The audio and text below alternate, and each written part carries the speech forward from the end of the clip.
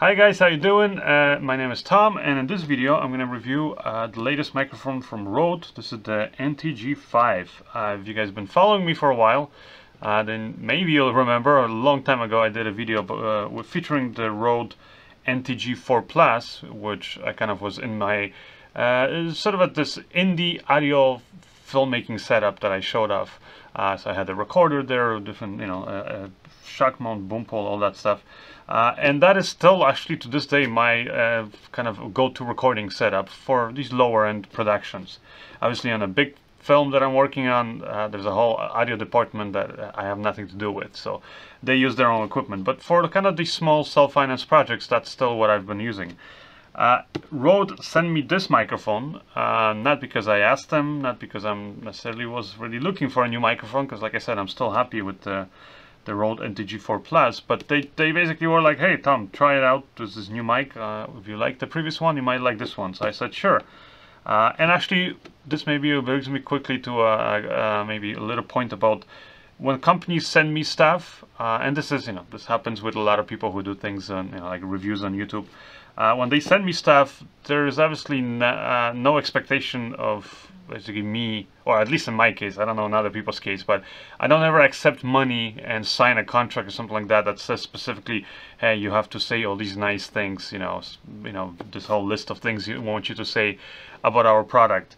Uh, I I review products, and whether company sends it to me or I buy it, most most cases I buy it with my own money, or it's a loaner or rental, so I can try it out before I actually buy it.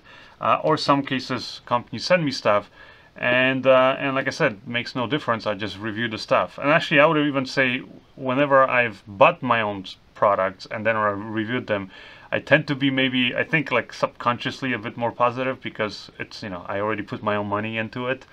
Uh, so it's kind of you know like that whole thing where like somebody buys let's say a really expensive camera or the same thing with like somebody buys a really expensive car, turns out to be a piece of crap, and then you know they're talking to their friends but then they're like you know trying to justify their their purchase and they're like no no but it's this car or this camera is really good because it's got this feature and all that stuff.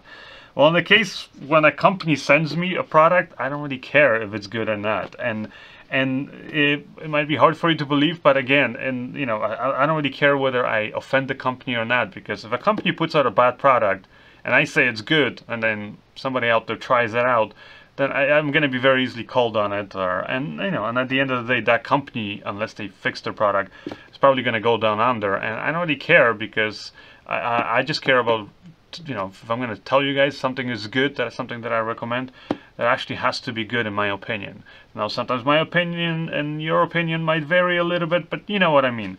Uh, because if a company does put out like crappy products, then uh, probably most likely I'll just stop talking about them and they'll probably go out of business and in that case I have no reason to be like you know I guess again have any affiliation now if I was receiving money to review things which again I've never done but if I was then yeah, that would be a completely other story or if for example like i know that you know there's uh, there's companies that have been sending invites which i've always turned down to like these special events or like a weekend getaway in some nice exotic location and they pay for your flight and everything and your accommodations and food.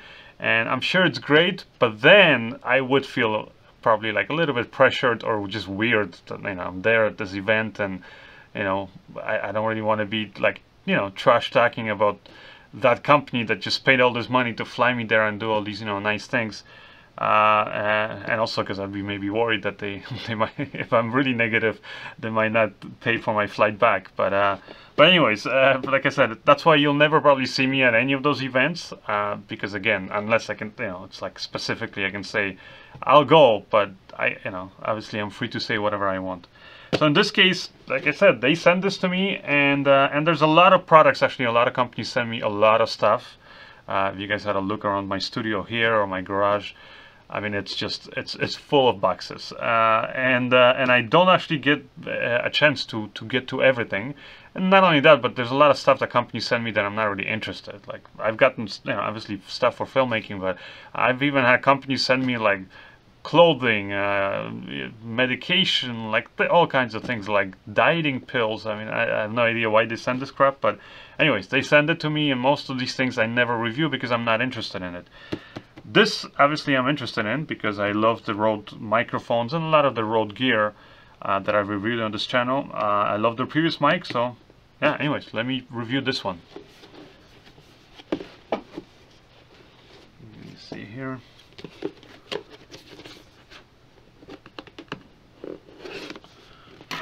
Oh, there's actually a letter here.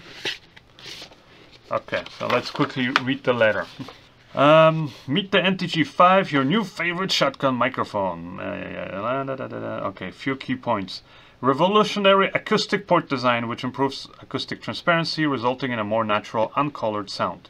It's extremely lightweight at just 76 grams and very short for a shotgun microphone, just 203 millimeters. Wow, okay, that is short. Um, what is this? Uh, super cardioid pol polar pattern, smooth of axis response, Taylor frequency response with high, uh, with tight low end, uh, which helps curtail wind noise. It's crisp, sparkly highs, um, all that stuff. As a circuitry, the, the circuitry has been updated and improved. The NTG5 produces very low self noise of just 10 dBA. Okay, if this is true, because again companies make a lot of claims but then it turns out it's not true but if this is if this is true then that, that is pretty good um, and then it has RF bias and all that stuff anyways I won't bore you with this whole thing let me get to the, the actual mic Alright. Alright, so these are all the things you get once you go through all the boxes. I just sped that up for you guys. Uh, and this is actually called, it's not just the Rode NTG5, it's the location recording kit. That's what it says on the box. So this is actually all the things that you get. So obviously you get the mic, little protective pouch, uh, standard sort of a microphone stand, uh, you know, kind of a hard mount. Uh, you get the wind foam, which is really cool, and this really feels like high quality, and it has this kind of rubber here intlet, which is good. Has your standard foam, uh, you know, windscreen protector, and then you have the shock mount, uh, which I actually had to assemble while I was unpacking it, but uh, you just have to do it the first time. Uh, and, you, and it's cool because you can kind of customize the position of this so you can make it kind of go a little bit left or right uh, depending if you want to let's say use it with another microphone but this one's short so I did that uh, that position. Uh, and then they give you this sort of a shielded microphone XLR cable that you can feed through this handle and you can like now right now I'm just gonna leave it like this because I'll actually connect it to my recorder so we can do some tests but you could just for example hide it in here and then you would just connect your extension this way. Uh, and then here's the mic, and I'll tell you guys, it is incredibly light. It really is. Uh, like it is, you know, like when I had the whole box with all the things, obviously it doesn't feel that light, but the mic itself feels very light. Um, and what I also like is that it kind of, I mean, other than obviously the opening here for the XLRs, it seems like it's completely like seamless. Like there's no there's no yeah I mean you know like even this thing here is like there's some kind of a screen there protecting it. So uh, and actually that's one thing that when I read up about the mic before I opened it uh, is that it's it says that it's uh, designed to withstand like elements. So moisture uh, sand wind things like that uh, and even drop tests like the, that Rode has done on this all kinds of tests I think even like high and low temperature tests they've, they've done to really make sure that this is a great location microphone. So again, you can take it in all kinds of environment, all kinds of weather. Um, so anyways, let me hook this bad boy up here.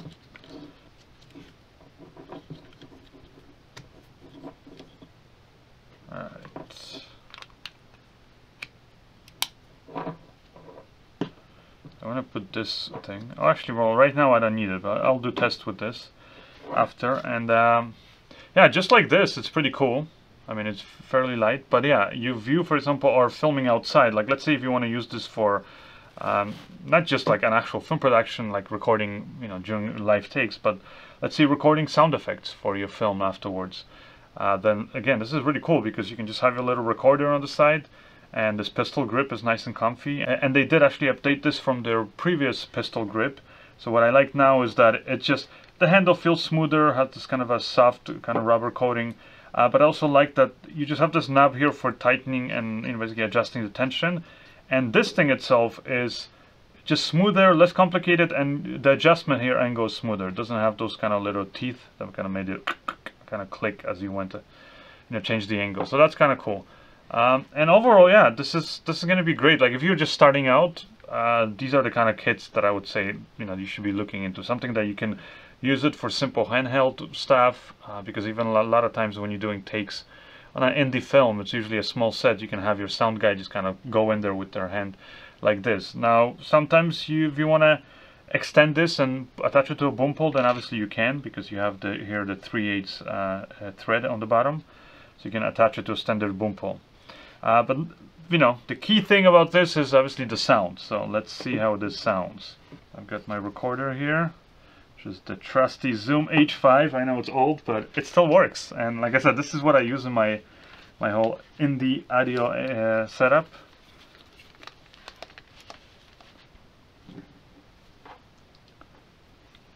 Just plug in the headphones. Alright, let's plug the microphone here. Alright, yep, I can hear it right away. Test, test, test. So I'm just going to leave this here. Test, test.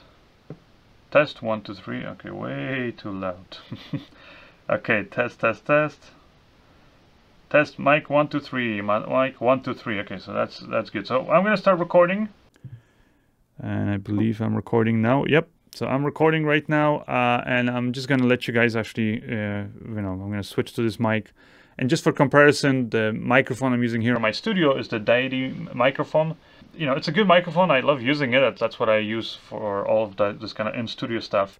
And obviously in my studio here, it's not like a big professional sound stage. So uh, I have heating going on here and things like that. So there's always some background noise. But right now I'm just going to record just, uh, just the silence here in this room.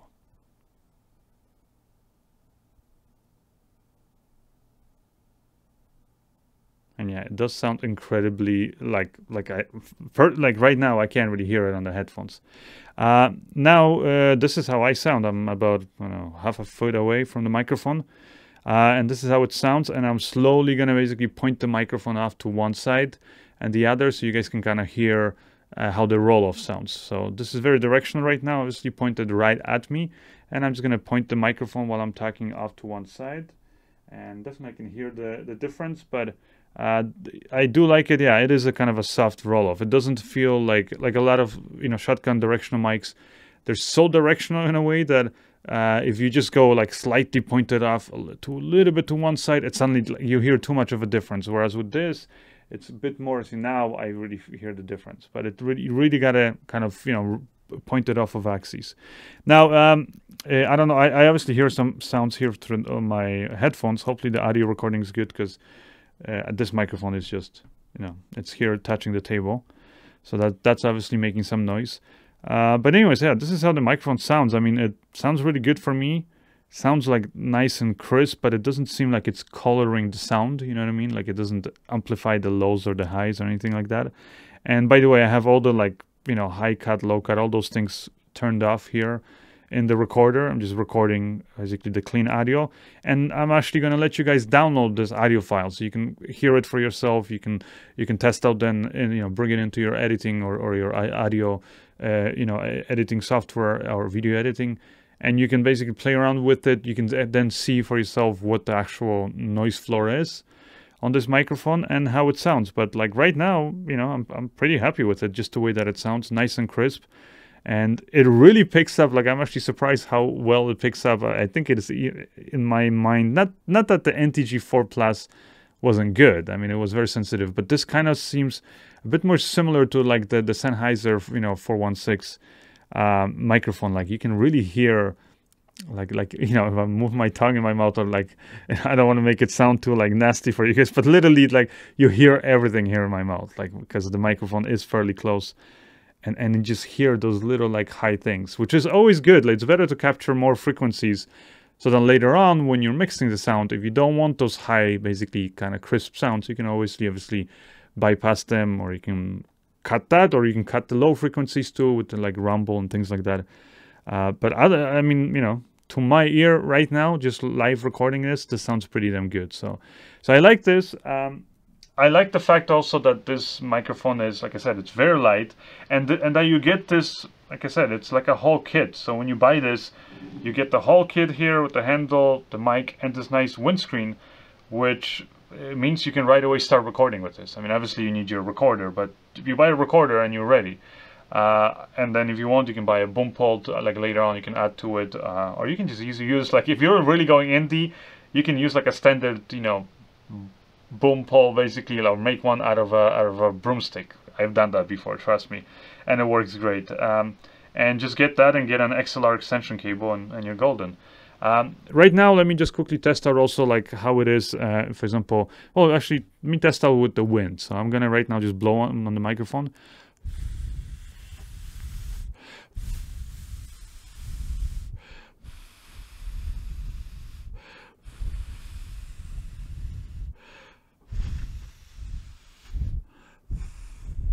So yeah, I mean, it's it, obviously you're gonna hear it. I'm like really close to it. You hear something, but you don't hear this.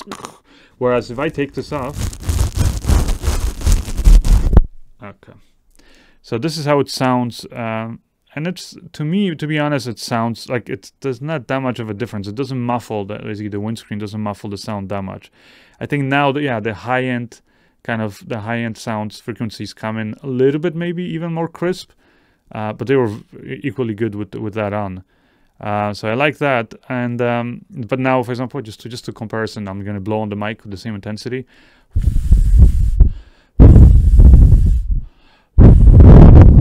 So yeah, definitely this thing obviously helps. So that's like a good thing to have.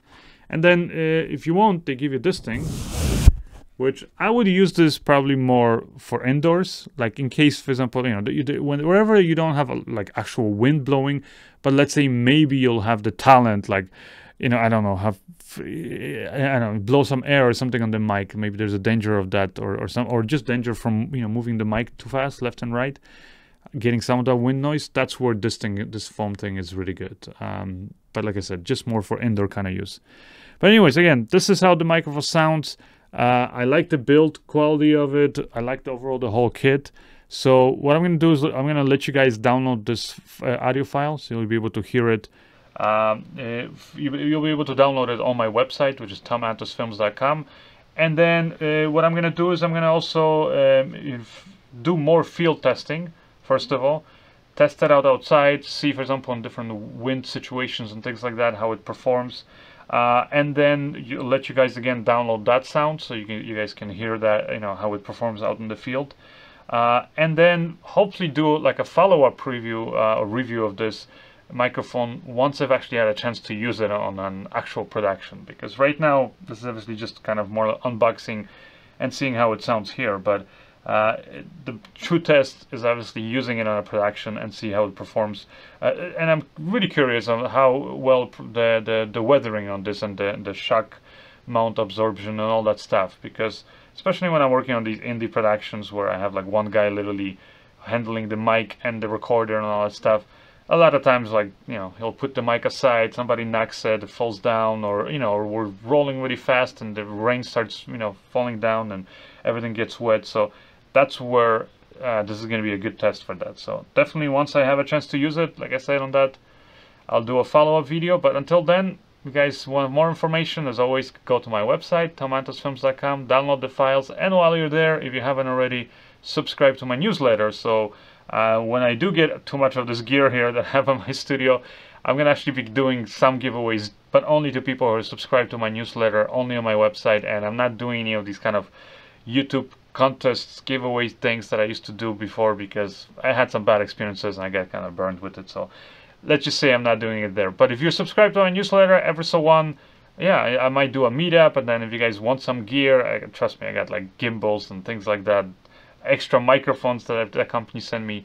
That I some of them I just used it once just for a review and then that's it. And some of them I never even have the time or interest in using them, but maybe you guys are interested in it. So again, follow my website, subscribe to my newsletter, and otherwise I'll see you in the next video. Bye!